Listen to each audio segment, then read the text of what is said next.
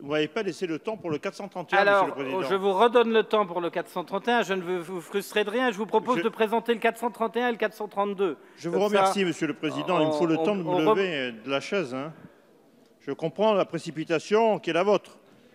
Donc le 431, donc je précise que la tranche d'âge retenue par le législateur paraît inutilement large pour l'objectif poursuivi. Il convient donc de le restreindre de 18 à 25 ans afin de limiter le dispositif au strict nécessaire.